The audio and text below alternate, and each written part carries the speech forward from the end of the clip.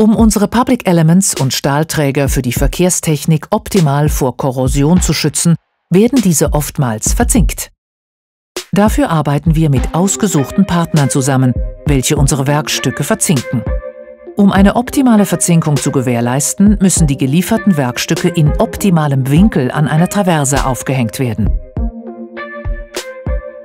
Für ein gutes Ergebnis ist eine vorgängige, gründliche Reinigung der Oberfläche unerlässlich. Fette und Öle werden so in einem sauren oder basischen Entfettungsbad von der Stahloberfläche abgelöst.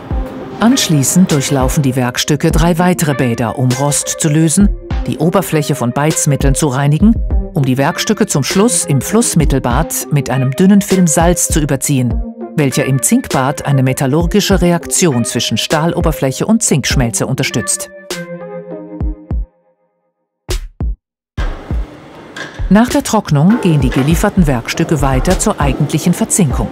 Dafür werden sie in ein 450 Grad heißes Zinkbad getaucht. Während des Verzinkungsvorgangs bildet sich auf der Oberfläche der Stahlträger ein Überzug aus zusammengesetzten Eisen-Zink-Legierungsschichten, welche dafür sorgen, dass die Public Elements anschließend widerstandsfähig und langlebig sind.